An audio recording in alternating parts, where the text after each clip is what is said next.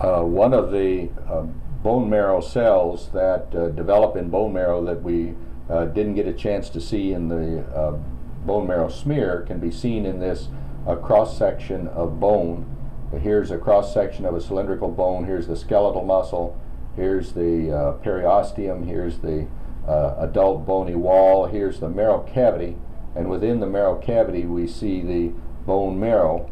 We'll go to a higher power and see if we can find this very large cell, the uh, megakaryocyte. And uh, the megakaryocyte is uh, a cell that will uh, fragment the, lose its nucleus and fragment the cytoplasm into many very small platelets. This is a megakaryocyte found in the bone marrow of a long bone and it will give rise to uh, platelets. Here's another one here.